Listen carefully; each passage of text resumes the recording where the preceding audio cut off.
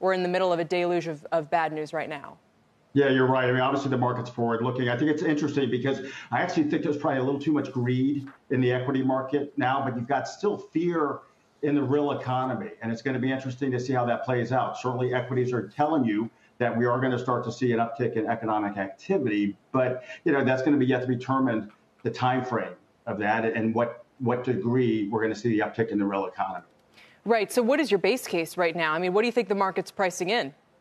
Oh, I think the market's probably pricing in some version, maybe not a V, but a U hmm. coming out of this. And, and I think it's probably a little too uh, aggressive.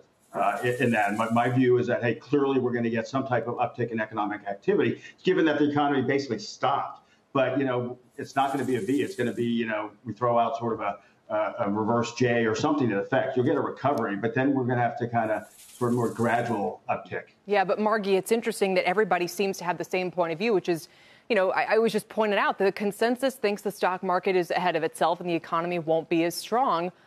You know, what if that consensus is wrong? What if the stock market is right?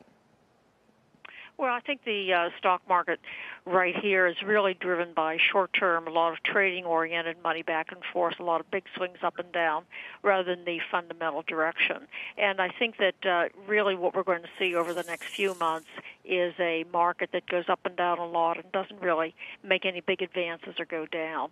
Uh, what I look at what the Fed has done is just provide a liquidity bridge from when the bottom fell out of most businesses giving them the liquidity to operate until we come out on the other side of the coronavirus and we start to see the business community healing and uh, then we'll be in a position to look for higher earnings. But that's several quarters away at this point. Margie, that said, you guys are buying uh, some of these junk bonds uh, here that you think offer, you know, appreciation and, and you know, yields and, and uh, are attractive right now. This, as the Fed, of course, has said that it will step in and support that, those aspects of the market without having uh, launched anything major just yet.